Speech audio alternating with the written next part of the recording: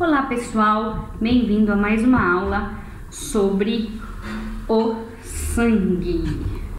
Então vamos lá. O sangue.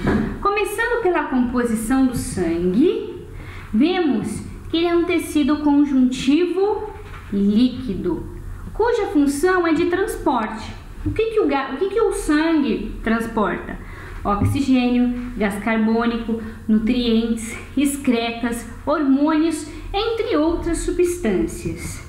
Se você olhar um tubinho de sangue já centrifugado, a gente percebe que ele é dividido basicamente em três partes. O plasma sanguíneo, que é a parte líquida, a parte onde ficam os glóbulos brancos e as plaquetas e, por último, as hemácias. E no sangue nós encontramos três elementos figurados. Por que, eu não posso chamar de células sanguíneas? Vamos ver o porquê.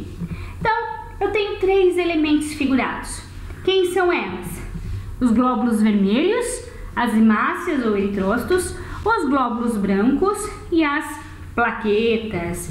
Sendo que as hemácias não podem ser é, faladas que são células, porque elas não possuem núcleo, cuja função de uma hemácia é transporte de gases. Função do leucócito, resposta imunitária, isto é, defesa do organismo, e as plaquetas, que são fragmentos de células, são responsáveis pela coagulação sanguínea.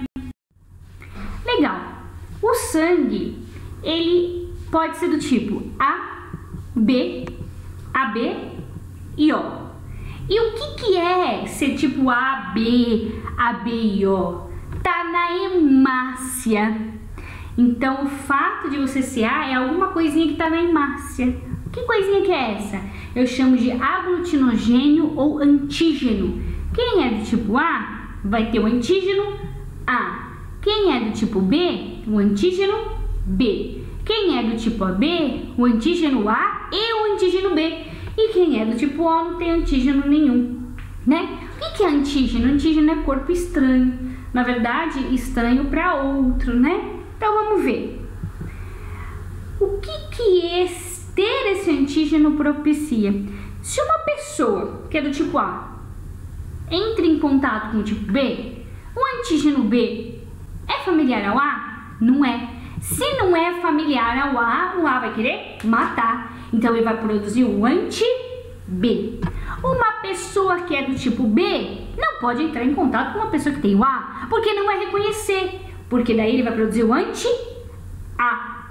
Já uma pessoa AB tem o antígeno A e tem o antígeno B, isso é, ele reconhece os dois, isso é, não produz anti nada.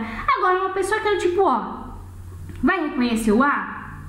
Não. Vai reconhecer o B? Também não. Então, vai produzir o anti-A e o anti-B.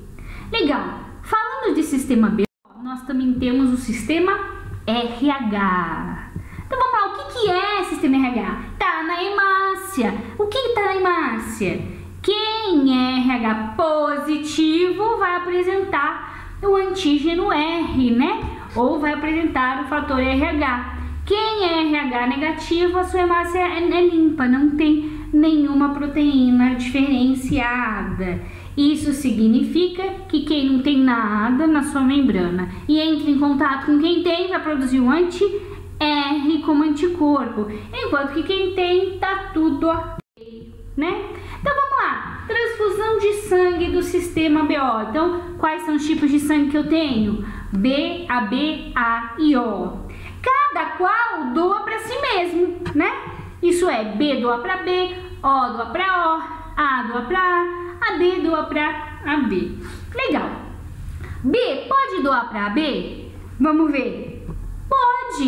Porque o B reconhece B, não é estranho, não vai querer matar, né? A doa para B, doa também, porque A reconhece A. E O doa para B, doa também, porque na sua membrana não tem nada que o AB não possa reconhecer, tudo bem? Já o O também vai doar para B e pro A. Isso significa que quem é AB é receptor universal, isso é, recebe de todo mundo. E quem é O é doador universal, isso é, doa para todo mundo. Legal. É a transfusão do sangue do sistema RH. RH positivo do APA positivo, RH negativo do APA negativo e apenas quem é negativo pode doar para quem é positivo. Por que, que o positivo não pode pôr negativo? Porque aí vai produzir uma proteína, vai produzir o, o anti-R. Legal. O fator RH também ele é visto é, quando recém-nascidos podem nascer com eritroblastose fetal ou doença hemolítica do recém-nascido. Isso é, a mãe tem que ser RH negativo e a criança positiva. Na primeira gravidez não acontece nada.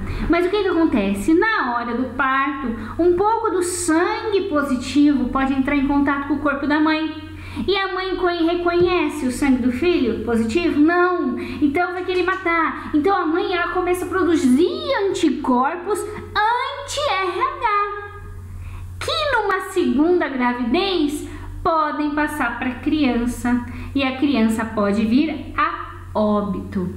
Então tudo bem, pessoal? Aula rapidinha, revisão rapidinha. Espero que vocês tenham gostado. Fui.